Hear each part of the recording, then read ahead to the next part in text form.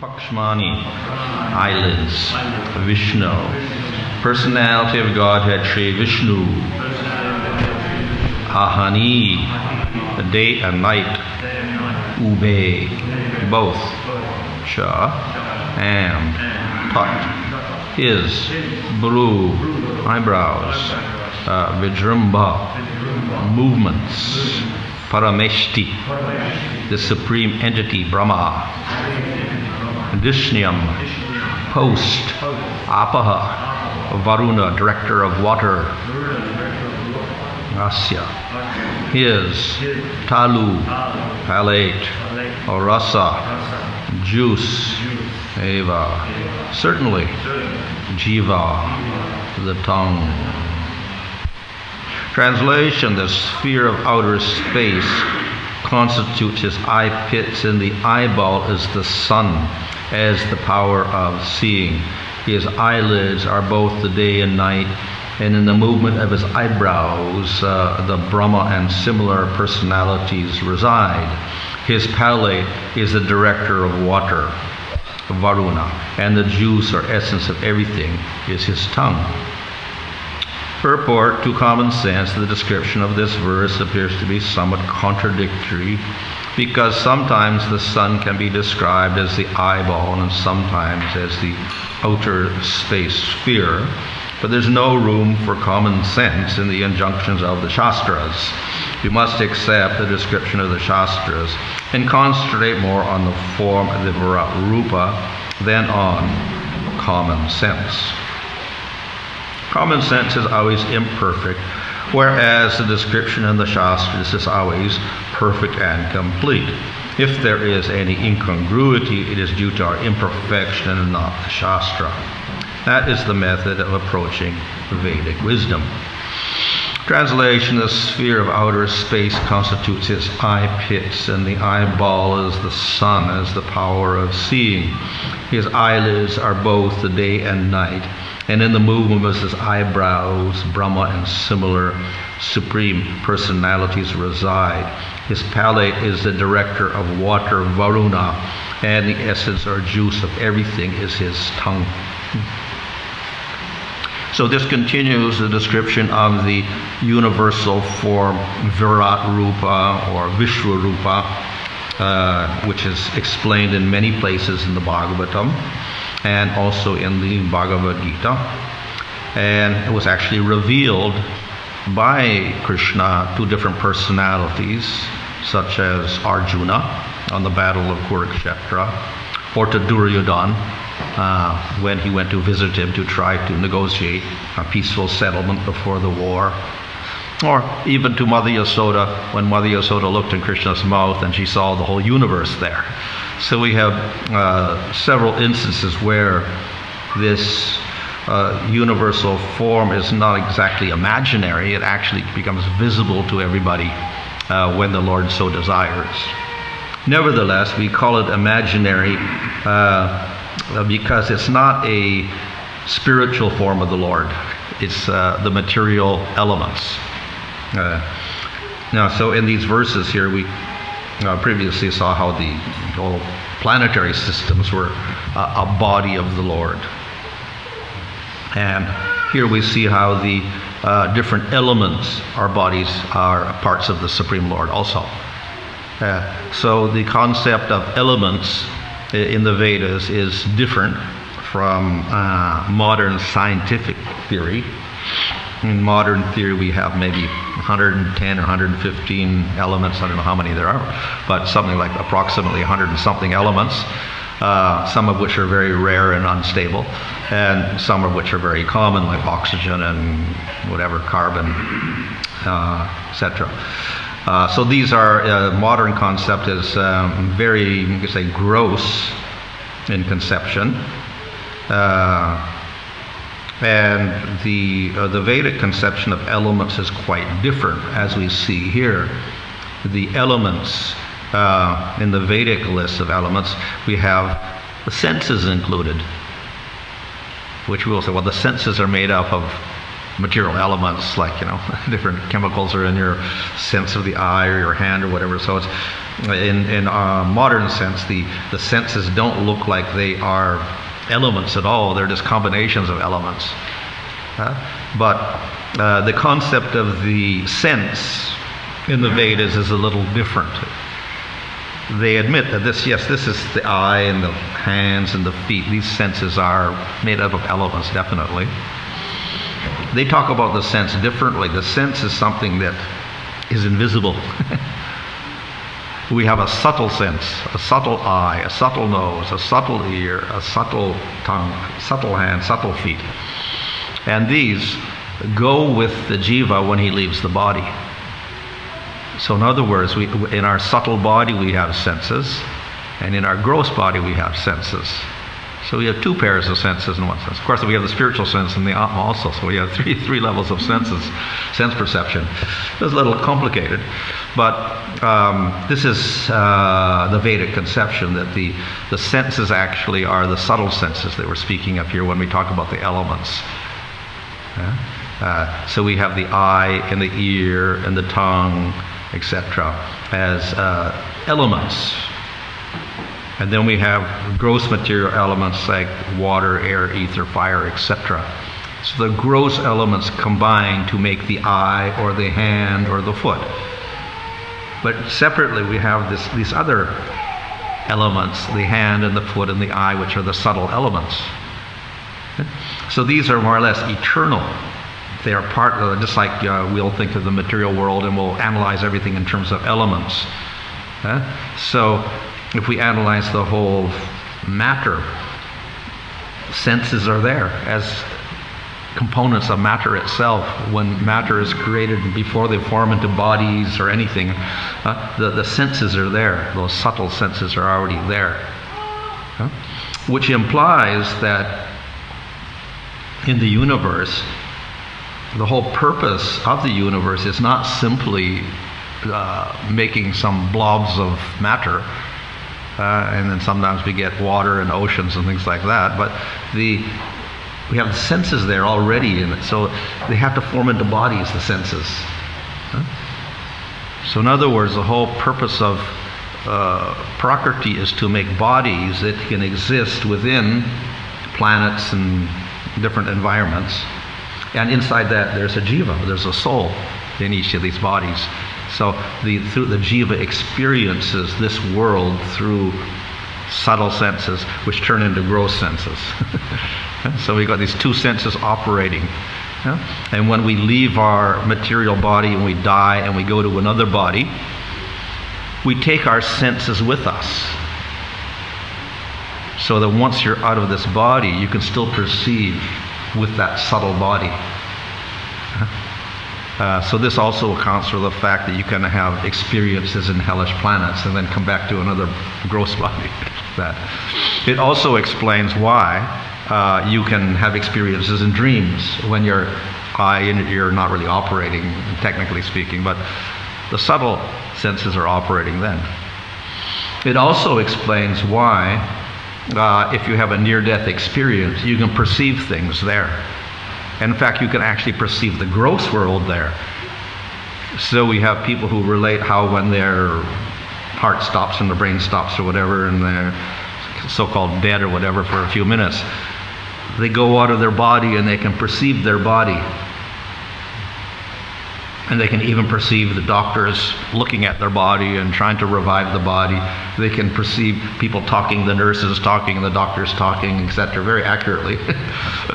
even though they're brain, brain dead and this brain's not operating, the senses are not operating, but they can perceive people speaking and people doing things. They can see and they can hear, even though their brain's not operating and their eyes not operating. So how they do that? Because they have that subtle eye, subtle ear, etc., operating on the subtle body. This is, of course, mysterious for modern science because they don't know about the subtle body, but this is an explanation we can give for that, that the subtle sense is still operating when the gross sense isn't. So, uh, in this way, we have it's a little bit of a confirmation that we do have two sets of senses the very gross one, which stops operating when you die, and then decays with the body or gets burnt, whatever. And then we have the subtle ones that keep going with you. And they're in your subtle body. But generally, that subtle body with the jiva is unstable. So it must take another gross body uh, to get satisfactory experience in this world and uh, to fulfill karma that we want to enjoy in this material world. So therefore, you're pushed into another gross body, and then you get another set of gross senses to operate with here in the gross body. Uh, so the uh, Vedic conception, this is a little bit different from modern conception, but it can also explain some of the unexplainable phenomena that we come across in the modern world when we uh, have these things like near-death experiences, etc. Huh? Uh, so we have these all these senses existing on a subtle level, uh, but they have to combine together these subtle senses in a certain way and operate nicely. Uh, so there has to be some principle behind putting everything together. so we have the creator Brahma, uh, who uh, takes the material elements and these very subtle elements, the senses, and he does two things. He makes places, or lokas, planetary systems, and we said there are 14 levels according to levels from gross consciousness to elevated consciousness for living beings. And the, the matter themselves is either gross or subtle. So, all the way up to Earth, we have very gross planets. And when we go above the earth, uh, for, Bhuvar and Svarga, Mahajana, Tapa, and Brahmaloka, the elements get more subtle, so we can't even see those planets technically when we get up into that sphere. Okay? And then we have living entities living on all these planets. So Brahma makes the bodies for these living entities, and they can live in the hellish planets or the earth planet or Bhuvarloka, the ghost planets, or Svargaloka, heavenly planets, or above that.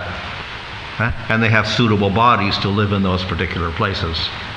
Uh, so again, because these bodies are more finer and subtler than our body, we can't even see many of these bodies. So we cannot see the bodies of the devatas and people on Svargaloka, or even the ghosts in the in the Bhuvar sphere just above us.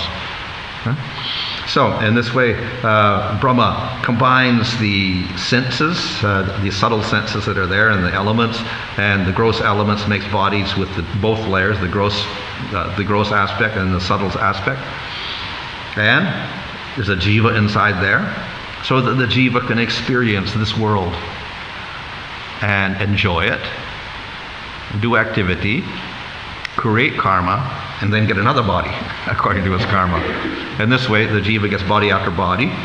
And according to the body, he'll go to different levels. He can go upwards or downwards or whatever. He can get higher and higher body and go to higher and higher planets according to karma. He can stay at the earth level, or he can go down, down, down to grosser bodies according to his sinful activities, whatever. So, in this way, uh, we have a very intricate system um, planned out by Brahma, the creator within the material world, uh, so that the, jivas can enjoy with a material body, a gross body and a subtle body. Uh, so uh, these subtle senses are involved here. Uh, so these are explained in these verses here how the universal form has the eye and uh, it sees, etc. And behind that there's a devata who also controls that sense organ. Uh, and thus, uh, if they're operating properly, then the jiva can see, or the universal form is able to see, and that way experience. So, with the eye, what do you do with the eye? You see things, the forms. So that's called the, the, the, the, the, the perception of the eye, uh, its capacity to perceive things. Huh? Uh, it's called its tanmatra, or its sense object. So form is the sense object for the eye. And if we can perceive nicely, then we get some enjoyment out of seeing those different forms in the material world.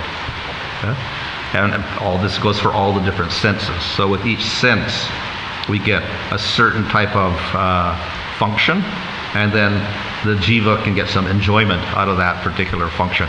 So we have seeing and hearing sounds and smelling fragrances, and whatever, and tasting different uh, flavors, whatever, touching things, hard, soft, whatever, like this. Um, and in this way, the, the jiva is able to get some enjoyment out of the material world. Hmm? It is all, of course, material thing. It's the, the, the sense is material. It has its subtle aspect and its gross aspect, uh, but it's all matter. And it contacts matter also. The sense object, the forms are all material. The fragrance is material. Uh, the sound is material. So it is matter contacting matter, basically. huh? Uh, a material eye contacting a material form and then getting some experience of happiness or pain that way. How is it possible? Because the experiencer is not material at all. The experiencer is this little soul, the Atma, the Jiva, who is non material. So, how can you get enjoyment out of matter contacting matter? You cannot. so, it's a very unnatural position to try to do so. Huh? But, if we misidentify, and then that Atma thinks, I am this body, I am this matter, he identifies with the, this, this body with his senses, then he can begin to enjoy he can experience some enjoyment out of that because he misidentifies with his body and his senses and the brain and whatever and his neurons in the brain or whatever that gives him the sense that I'm happy with this. This is uh, what we call false identity or ahankara. But this is another material element, a very subtle, most subtle material element almost, called ahankara, false ego. Yeah? And with that element, the soul, which is spiritual, identifies with the material body and its senses. And then it, the senses contact the sense objects and it goes to the brain and they say, I'm happy. or I'm suffering. So therefore, uh, it's not natural because the soul is completely different, but by misidentity, then we think this is happiness. So this is the condition of everyone in the material world with material bodies. And this is called ignorance. Huh? And from the spiritual point of view, ignorance is not good. So therefore, it's unnatural, not a natural position to be in. Huh? And in this position of ignorance, we experience some happiness, we experience some unhappiness or distress or suffering. We get this duality. And we have an experience I want the happiness out of certain objects, or I don't like the pain I'm getting out of other objects. So, based on this idea of I like this and I don't like that, we do our activities in this world to get happiness and to avoid suffering. And what's the result of that? You get some experience of uh, false happiness through misidentity, plus added effect, karma. we get karma. Each of the activities to get some happiness or to avoid some distress, that activity gives a karma. We get a future result in terms of our next body, which is either happiness or suffering. So if you do your activity of avoiding, trying to avoid the suffering and getting the happiness, and you do it in the wrong way, then you get suffering in your future life. If you do it in an approved way, according to Scripture, then you get happiness in your next lifetime. All material, of course.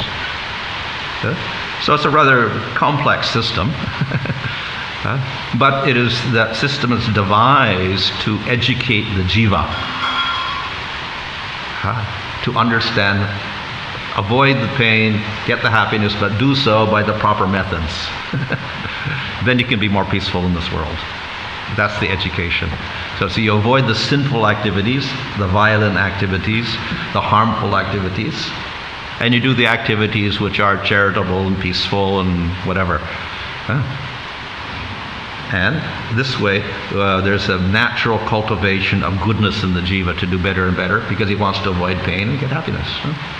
So that's, that's the, the, the general idea behind the law of karma and getting all these senses, etc. As I said, the whole thing is actually illusory because it's based on the false concept that I'm the body. and therefore, the jiva ultimately cannot get happy. Even if he thinks he's happy, it's not real happiness, it's false. So we have the example um, of the two examples. One is the, the fish. Hmm? Uh, so the fish is very happy in the water. Yeah. And uh, fish eat whatever they eat in the water, and they, can breathe in the water and do whatever they want in the water. They reproduce and have their families in the water, etc. And they're very happy going on surviving like that. So that's the natural environment for the fish.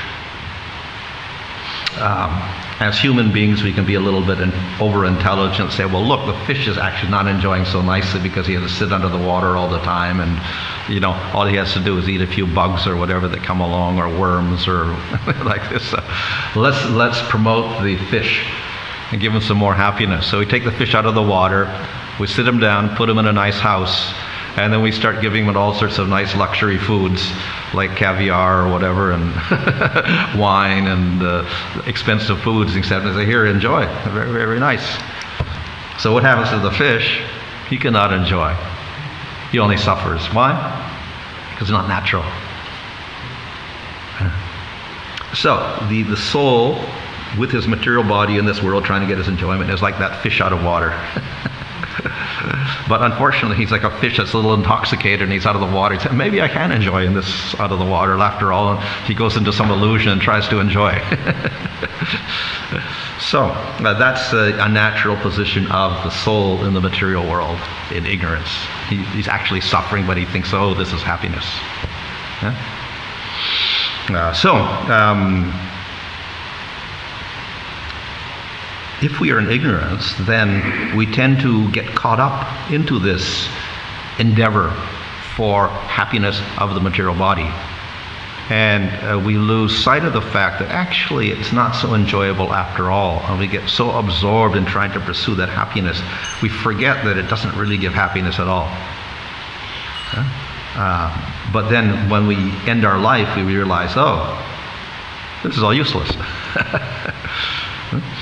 Uh, so there's the, another example, and that is the example of the bird in the cage. So uh, we have a bird, and he has a nice cage. So then we have the the um, the owner, the owner of the bird. So the owner of the bird feeds the bird every day, hmm, keeps the bird happy, etc. Whatever. But if the owner is foolish, Hmm. And he'll be looking at the outside of the cage. And he'll start thinking, well, uh, this is the cage. I should improve the cage. Uh, so then he gets a, uh, buys a new cage. Um, maybe he gets a gold cage or what, puts a few diamonds on the corners of it or whatever like that, makes it look beautiful. And he gets uh, very absorbed in decorating the cage. And he forgets to feed the bird inside. so the bird dies. So that's our absorption in our material body. We're trying to take care of our body and then find happiness this way or that way, etc. And we become so absorbed in that, we forget about the soul completely. And meanwhile, the soul's sitting there like the dying bird, not getting any food. so this is, our, again, our ignorance in the material world. Hmm. So we have this very like complex system of the subtle senses, the gross senses, the subtle body, the gross body.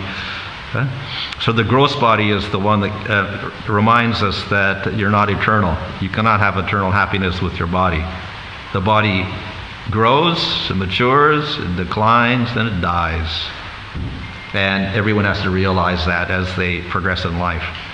So therefore, they must realize sooner or later that I can't really enjoy nicely because I want eternal happiness, but I can't get it in this body. so this should make them question then what should I do if I shouldn't get happiness out of this material body? Unfortunately, even people don't even ask that question. But that's the whole purpose of the body, that gross body, to make you realize that it's all going to be very temporary. Yeah? There's a the, the question by uh, Yamaraj actually, who comes as a, a yaksha to test Yudhisthira. And one of the questions he asks is, What is the most astonishing thing in this world? Yeah, so you think what's most astonishing? It's a big mountain or a big river, a wonderful flower, a ferocious beast or whatever, or a, a hero or whatever. That, who's the, what's the most astonishing thing? So Yudhisthira was very intelligent because he's actually the son of Dharma or Yamaraj. Yeah. So he says the most astonishing thing in this world is that everybody dies. We all know we're going to die, and we all see everybody else die. So we see our grandparents die, we see our parents die, we see other people die uh, all the time. It's always happening. In spite of this, we think, I'm not going to die. and we go on peacefully living our life as if nothing's ha- happened at all. And we don't think about anything that we're going to die sooner or later and what happens after that. We don't think about that at all. We just give a go on living. See, this is the most astonishing thing in the world. We have a blunt fact in front of us that everybody is mortal, but we never live with that fact and act in a proper way. It's like a person who um, is renting a house. Hmm? So we pay our rent every month, and then it goes on. But then the landlord comes and he says, Well, next month you have to get out of your house. So then, an intelligent person will look for another house. And he also save up some money so he can get the right house that he wants to uh, rent. So that's the intelligent thing to do.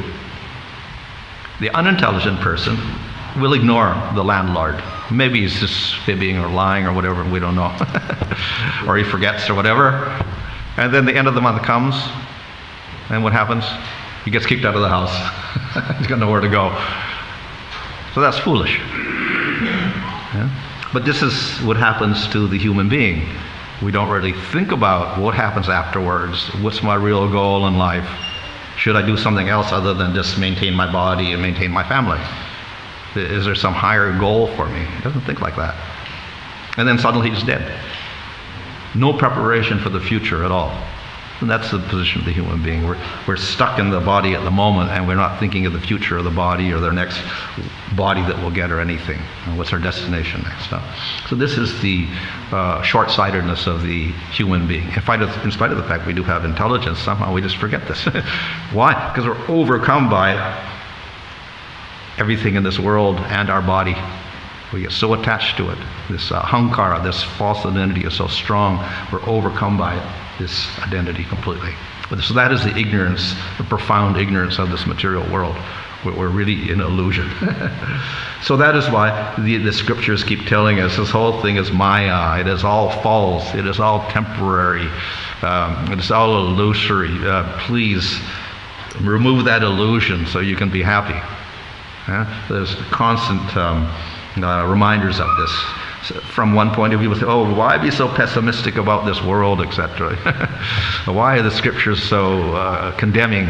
Uh, why do they dismiss this world as being useless like that? So, uh, this is the reason because we tend to forget. We get so absorbed in our body that we are so attached to it, we can't think of anything else. So, the scriptures try to wake us up out of that illusion. And to do that, then they have to be a little harsh sometimes. This is all nonsense. You're a fool. Wake up from this illusion. Uh, and we have many examples later in the Bible, in particular fifth canto and I think fourth canto, they tell stories of people dying and what happens to them, and things like this, just to wake us up and show the miseries of uh, material life and how we have to struggle throughout life. Huh? Uh, so, um, behind this, there is a big purpose. Uh, the idea is there's a purpose. So, the, the, it's a little bit indirect so, so the purpose in this material world is we have these bodies which are constructed according to a certain plan with senses so that we can perceive. Okay? So we can use the senses to enjoy in the material world, and that's what the jiva wants to do. He wants to enjoy in the material world, so he gets a body and enjoys material objects, even though it's unnatural. It's one purpose. The second purpose is to use the same body and the same senses to understand that he's not the body and he should get out of this position. So that's the great blessing that the uh, Lord arranges the double function of our body intelligence. We can use it materially to continue our uh, life in the prison house here, or we can use the same body and senses and intelligence as mind to get out of the prison.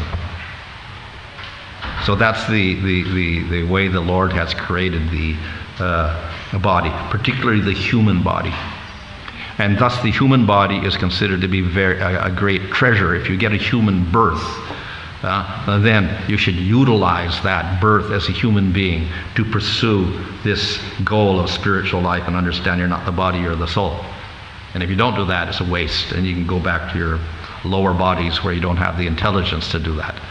Yeah? So, uh, therefore, the whole purpose of the uh, getting this material body is to educate us uh, finally to uh, get out of the material world and then utilize those same senses and body and mind and intelligence to discern and realize the ultimate goal. And ultimately, the goal is to realize another form, not the Virat Rupa of material bodies and the big uh, universal body, but to realize the form of the Supreme Lord. That's the ultimate purpose. So it is gradual. So um, this is the, the, first step. Meditate on the universal form. At least understand there's some form behind, some plan behind this whole material world. And beyond that, then we have to go higher and higher and realize there's a spiritual purpose and then a spiritual form of the Lord behind that. Uh, okay, any question?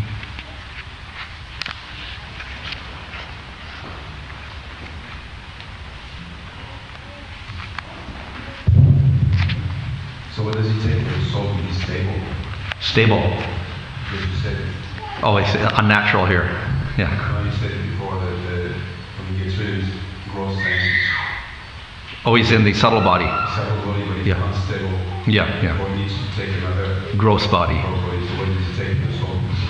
Yeah, yeah. So, yeah, if we just have the subtle body and not the gross body, it is not really satisfying to the jiva because uh, the jiva wants to enjoy the sense objects, but with the subtle body, without the gross body, you really cannot do that.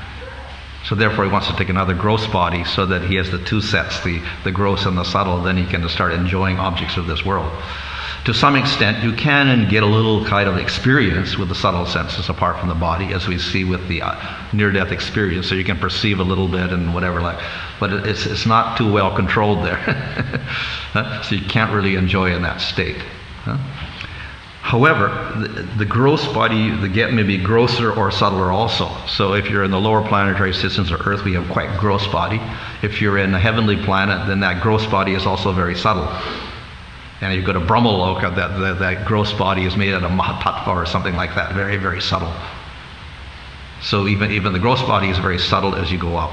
But nevertheless, they have that gross body plus that subtle body so you can get your enjoyment out of this material world.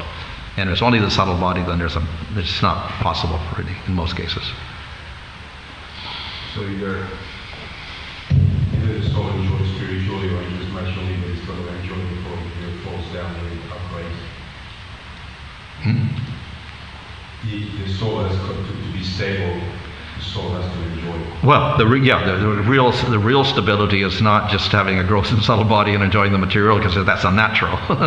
but that's as far as jivas in the material world, that's their happiness. If they can get a gross and a subtle body, at least they can get some sort of satisfaction out of that. But as I said, ultimately the soul has got nothing to do with the soul. The soul's not satisfied. So the real stability is when the soul gets satisfied. And the soul can only be satisfied, one, by realizing it's not the body. So that's the liberation stage. I'm not the body, I'm the soul, and then we get free from the material body, gross and subtle. Second stage is to realize that we should develop our spiritual senses, our spiritual form, and then we can perceive spiritually, Supreme Lord, and develop spiritual relationships and get bliss that way. So that's the real satisfaction for the jiva. That's the stability, stable position of the jiva. Everything else is unstable from the absolute point of view. So therefore we say that prema uh, is the nitya dharma of the jiva. That's the eternal function of the soul, uh, that prema, or love of Krishna.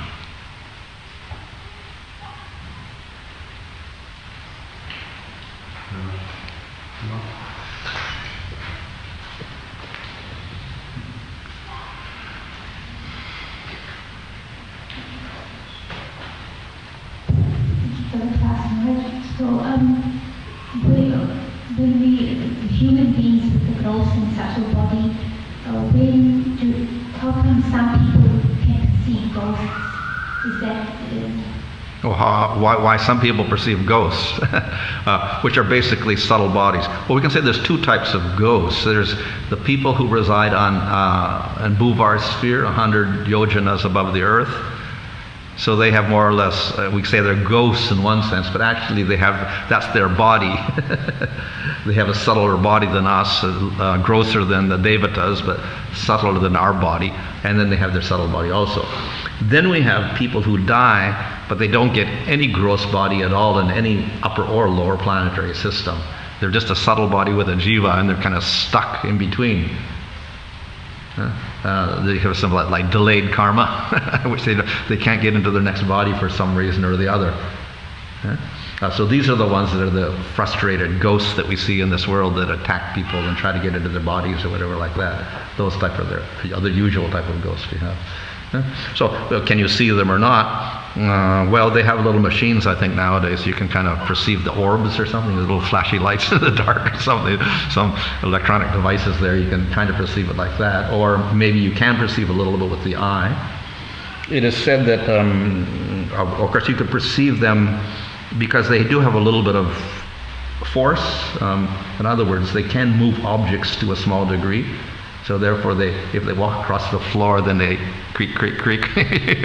Footsteps, you could hear a little bit with the creaking boards or something like that, but not a full footstep maybe. Or they could move a curtain maybe like this a little bit, uh, or turn a page in a book maybe. Uh, that much force they may have. So, in that sense, perceptible a little bit, and perhaps they can even be seen a little bit. And their form, subtle form, can be seen slightly, but uh, not so much, you know and not in a controlled way also.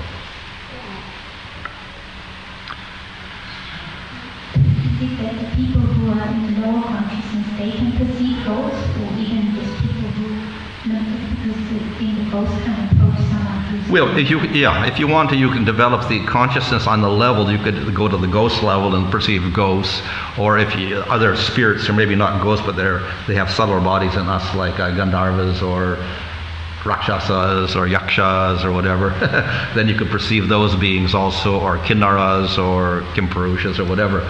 So if you have the level of, or Devatas, even if you have the consciousness, you can see a Devata. So depending on your consciousness level, you can do that. And of course, in India, they have certain sadhanas. In the Western world, also black magic and stuff by which you can also invoke the service of other beings or ghostly beings or whatever like that, and then you can talk to them or use them or get controlled by them or whatever. A little dangerous, but yeah, there's there's methods of doing that. So that's what they call black magic in India or whatever, tantra and stuff like that. Hmm. Okay, Hare Krishna.